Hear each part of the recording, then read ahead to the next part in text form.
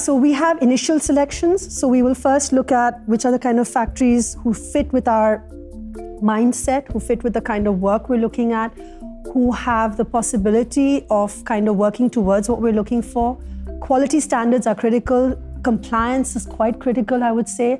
Um, if we walk into a factory and we just see that it's completely uncompliant, we just non-compliant, we can't we can't really go ahead unless they're in a position to change that completely.